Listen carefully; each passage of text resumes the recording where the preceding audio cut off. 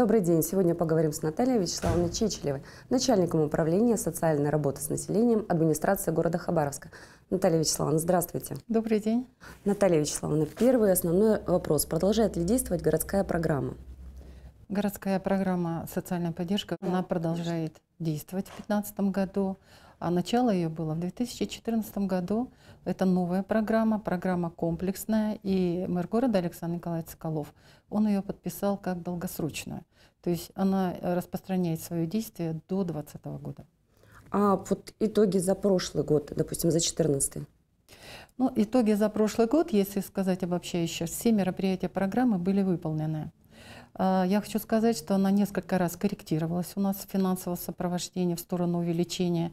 И, безусловно, это было связано и с обращениями жителей города, и с главными мероприятиями нашей страны, да и вообще международного сообщества. Это 70-летие Победы Великой Отечественной войны, окончание Второй мировой войны. И поэтому исполнение процентное составило 111. Если говорить о денежном выражении, то это 363 миллиона. А, то есть вот реализация программы в 2014 году, она позволила а, ответить на обращение положительно администрации города 120 тысячам хабаровчан.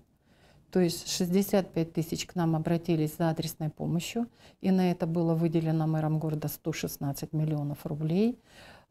480 а, тысяч услуг мы предоставили по ну, где-то бесплатно, где-то по социально низким ценам для социально таких незащищенных категорий. 14 а, тысяч людей обращались к нам за натуральной поддержкой, они ее получили. И поскольку в программу еще входят такие мероприятия, как работы, которые выполняются структурами администрации города и учреждениями, в интересах жителей города, которые заявились во время программы на них, эти работы тоже были выполнены. Ну, наверное, такие э, самые яркие я хочу назвать, это прежде всего э, это установка водораспорных колонок для 45 домохозяйств частного сектора.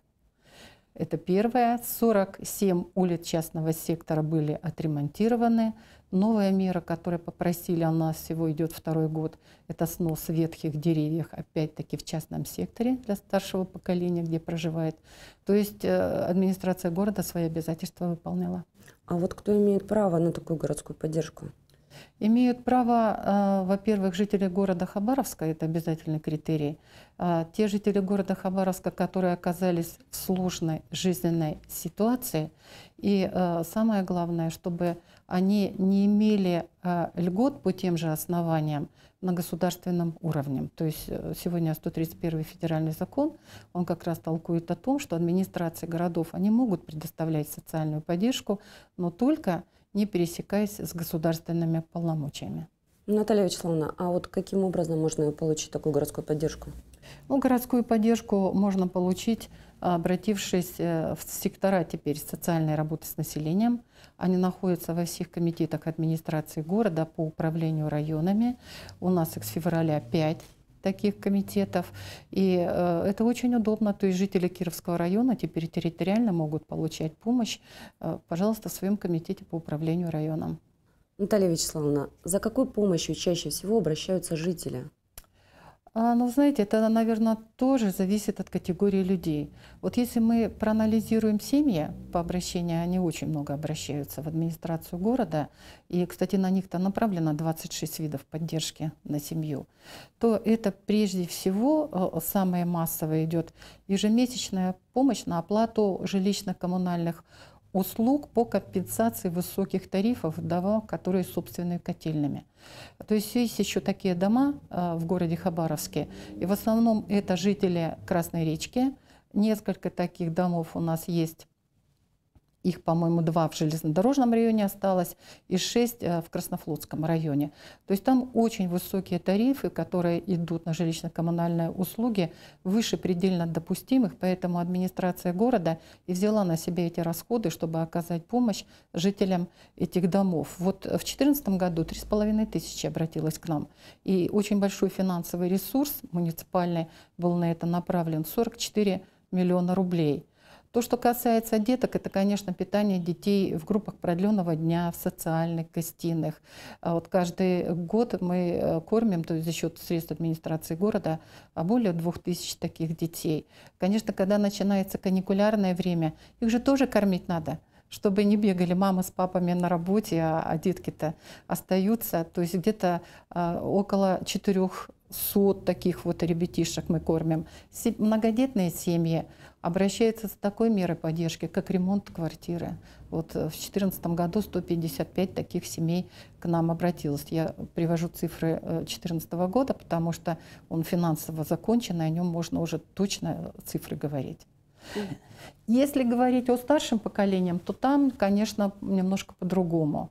То есть жители старшего поколения лидируют все-таки ремонт электропроводки, то есть на это э, направлены деньги получают люди. Сейчас введена услуга, если раньше была э, компенсация на установку учетов прибора холодного горячего водоснабжения и газа, то сейчас по просьбе ветеранов мы добавили и поверка этих приборов, поскольку она идет а сколько платная.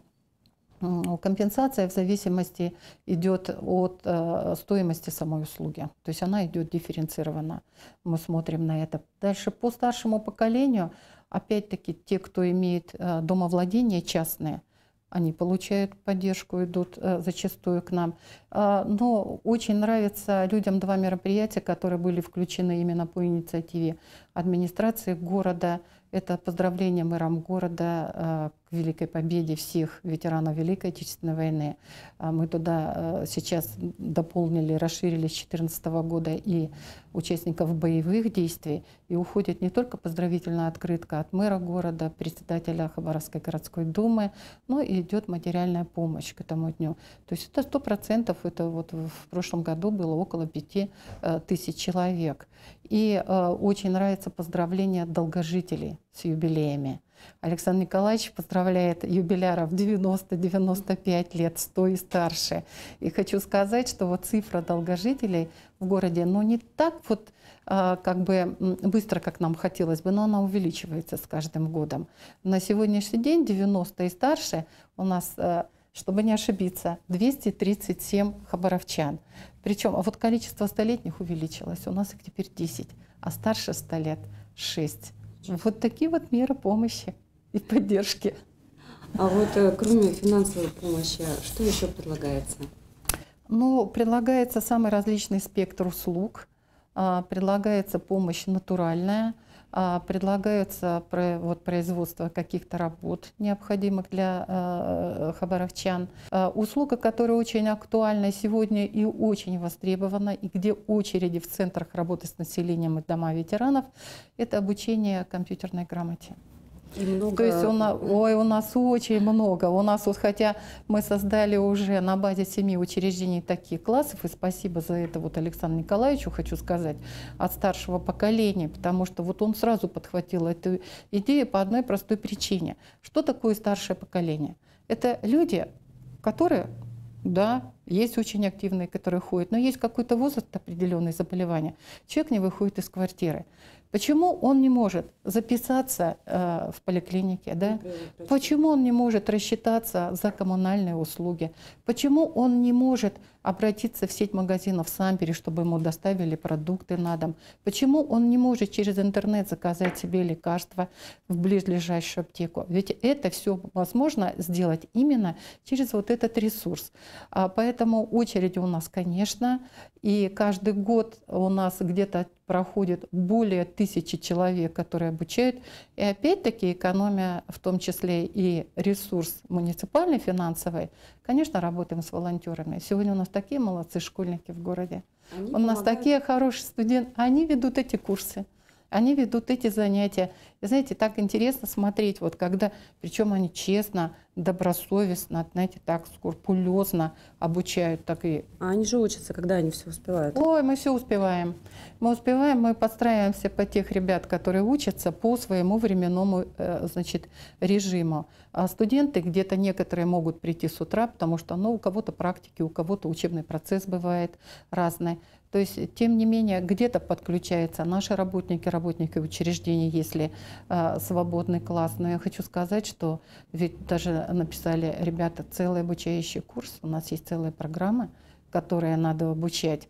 Я понимаю, что а, всем учреждений это, наверное, маловато, хотя мы охватили четыре района города, и у нас остался только индустриальный район, не обеспечен этими услугами. Но как раз программа, о которой мы сегодня говорим, она предполагает в 2016 году эти услуги вести и для жителей индустриального района. очень хотелось бы, чтобы в финансовом плане здесь вот у нас было все нормально. Значит, э, помимо этого, услуги э, продолжают оставаться востребованные, которые предоставляет Центр работы с населением. Это и парикмахерские услуги, которые очень нравятся хабаровчанам. Это и оздоровительные массажи, это и ремонт одежды. И, безусловно, лидером продолжает оставаться э, Конечно, досуговая услуга. Мы продолжаем петь, мы продолжаем плясать. Это, конечно, здорово. И последний вопрос про советы.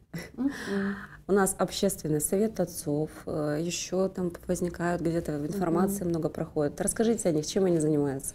Ну, вы знаете, вообще в администрации города, вот при мэрии города и при администрации города создано 27 общественных советов. Они не зря называются общественными, потому что а, туда входят действительно представители общественности города. Туда входят, на мой взгляд, самые активные, неравнодушные жители города Хабаровска, которые вот э, не устраивают вот эти ворчания, брюжения, там не так, здесь что-то не так, а которые несут э, вот свои, наверное, идеи, свои, объединяясь с другими, для того, чтобы решать вопросы вместе с администрацией города Хабаровска. Вот как я говорила по акции «Помоги собраться в школу», мы объединились и все. А на субботники мы не ходим. Почему? Ведь это наш дом, наш общий дом. Вот советы, они для этого и созданы. Вот когда формировались, я могу сказать, причем советы по разным направлениям идут. И по образованию, и по культуре, и по физической культуре спорта, и по молодежной политике. И э, вот наше управление э, ведет три таких общественных совета. Мы в 2011 году создали общественный совет по э, делам инвалидов. Он нам был необходим по одной простой причине, потому что начинались создаваться и приниматься программы на государственном уровне «Доступная среда». А, безусловно, люди, общественные организации, которые занимаются этими вопросами, или люди, которые имеют деток-инвалидов, сами инвалиды, ну, они гораздо лучше, согласитесь, знают об этих проблемах. Поэтому мы и создали этот совет. И к нам пришли настолько деятельные люди, его возглавила Вера Николаевна Перевезева, она у нас э, руководитель коалиции э, родителей, имеющих деток-инвалидов, а туда входит 16 общественных организаций.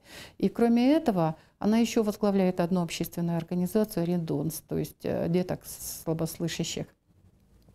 Вы знаете, мы за это время, а вот когда мы говорим, да, вот есть город, есть жилье, есть дороги, есть услуги, есть магазины, есть поликлиники. Они доступны сегодня для всех? Или только для здоровой части населения города? Только для здоровой. Только для здоровой. И поэтому мы смотрели вместе с ними, и к этому я хочу сказать, что подключились очень многие вот структурное подразделение администрации города к этим общественным организациям. Мы с ними формировали программу «Доступная среда». Мы очень боялись, чтобы ничего там не выпустить с этой программы, чтобы все учесть, потому что на несколько лет, на пять лет мы ее принимали. Мы разработали вместе с ними, мы ее обсудили с хабаровчанами, мы ее приняли, мы начали ее реализацию, и Александр Николаевич для того, чтобы поставить более четкие задачи, подтолкнуть, притянуть еще больше хабаровчан, он провел коллегию коллегию свою по а, вопросам как раз создания доступной среды в городе Хабаровске. Один из вопросов, который он мне задал, насколько мы отстали по созданию. Я, конечно, стала говорить о федеральных законах, они говорят, да мы отстали на 157 лет. Действительно, то есть вот практически многие очень вещи начинается, э, э, приходится создавать вот с нуля буквально. И в этом нам помогает только общественные советы, общественные организации. Вот сейчас мы обросли очень хорошие не только теперь советом, а, который при мэрии города создан, но они притянули, и мы вместе с ними, еще общественные организации, которые работаем по этой проблеме. А, нам очень хочется, чтобы через какие-то годы наш город стал не только самым благоустроенным, самым лучшим по финансам, самым добрым городом, и так далее. Это можно продолжать, ну и доступным городом для всех жителей. А если есть неравнодушные жители, которые хотят попасть в эти советы, чтобы ну, помогать? Ой, да мы, мы только этого и ждем, мы только этого и ждем. А, наше управление, вот мы находимся на Ленинградской 45, сейчас нам создали такие специально комфортные условия, а, Александр Николаевич. У нас есть и свой зал, и, и свои площади, где мы можем собираться, мы это и делаем, где мы обсуждаем все проблемы с жителями. Пожалуйста, пусть приходят. Мы их с радостью всех примем. Вот у нас же общественность, когда мы создали этот совет, через несколько лет, буквально а, через два года, мы создали совет по проблемам семьи и женщин. И нас подтолкнуло к этому и общественная, женская общественность города, та же Альбин Михайловна Коровина, которая возглавляет Союз женщин уже столько лет, она является основателем этого союза. Мы стали с ними работать, появилась концепция городской семейной политики в городе. То есть теперь, чтобы не каждый бегал и делал, что попало, чтобы она действительно была концепция, когда объединяла все ресурсы, и административные, и общественные ресурсы. А из этого, когда мы начали работать, опять-таки получился кто у нас в основном на активе? Ну, женщины. Ну и хорошо, что вот та же Альбина Михайловна говорит, мужчин не хватает. Давайте создадим Совет отцов.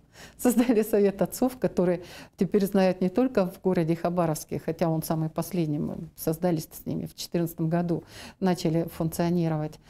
Вот. Но нам же э, звонит Россия, нам звонит зарубежье. После двух таких ярких акций, которые они провели а, к Великой Победе, к 70-летию на площади Ленина, а потом по окончанию Второй мировой войны. А, нам же э, некоторые страны предлагают совместные акции проводить. Это я уже тайно выдаю хабаровчанам. Мы пока к этому не готовы, к сожалению. Но будем думать. Наталья Вячеславовна, я благодарю вас за это замечательное интервью. Я надеюсь, что жителям города поможет эта информация. Спасибо большое. А мы их так ждем, мы хотим с ними сотрудничать. Спасибо, Спасибо. вам.